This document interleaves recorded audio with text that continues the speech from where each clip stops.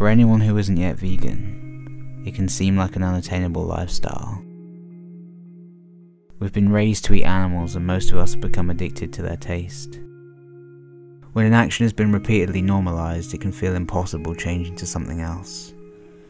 But being vegan in itself is easy. Veganism is just about not exploiting and consuming animals.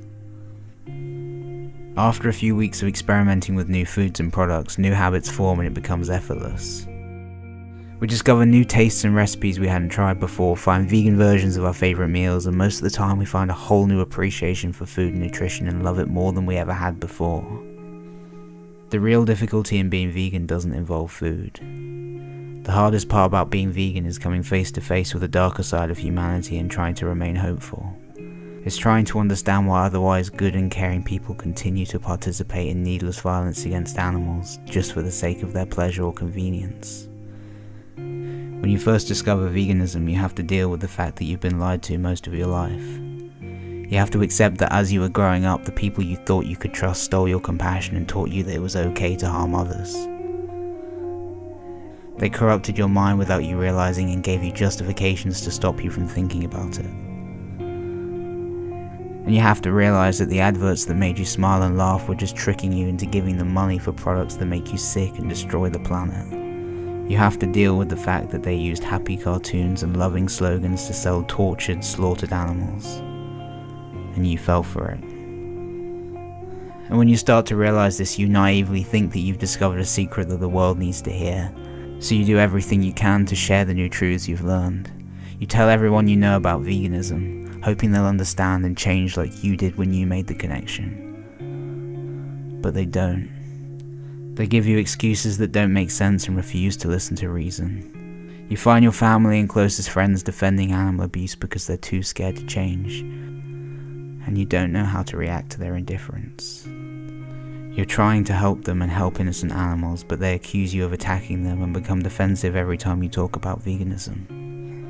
You have arguments and start to lose respect for those you love the most, and you become isolated. You can't stop thinking about the images of animals being queued up to be systematically slaughtered. You feel so powerless and just wish people would listen. And at the same time, the people around you start to mock you and ridicule you for being different. They make insensitive jokes and you do your best to see the funny side of what they're saying. Then come home and realize that they were laughing about animal abuse as if it was acceptable. It's been said that enlightenment is bittersweet, because on one hand it is wonderful to know the truth, live the truth and share the truth, but it's also maddening to realize how cruel and ignorant our species can be.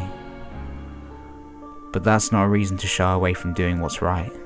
All throughout time, the ones on the right side of justice have always faced resistance, but it's always been worth it.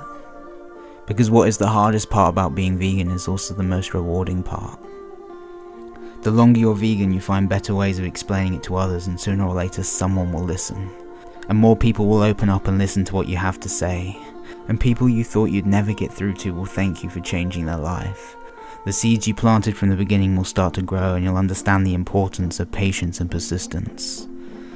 You'll find other vegans and learn to love humanity again, realizing that there are good people out there. But through the process of letting go, you welcome so many beautiful people into your life who share more in common with you. And as hard as it is to move on from the past, you become happier in the long run. And it gives you a reason to get up every day. It's no longer just about you, Veganism teaches you to look beyond yourself and think about others. And through your activism, you learn to never apologize for speaking up. Because if you're right and you know it, you have to speak up. Even if you're just one person against the whole world, the truth is still the truth. Exposing the lies and injustice becomes your purpose, and you become such a shining version of yourself that you inspire others around you without even trying. You inspire compassion through your fearlessness and uncompromising passion to make the world less selfish. And the best lesson you'll ever learn is that life's not about feeling amazing all the time.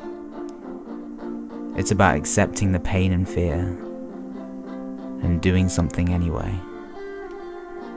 Not because you want to, but because you have to.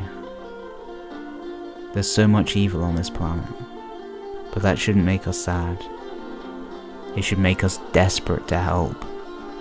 Because this is not some mundane diet choice. This is the difference between enslavement and freedom, between torture and peace, between death and life. This is serious, and you understand it, and you are a part of this revolution. The people that think veganism is hard are thinking about themselves, and the people that think veganism is easy are thinking about the animals. So if you think it's hard to not eat meat, think how hard it is for them that you do eat.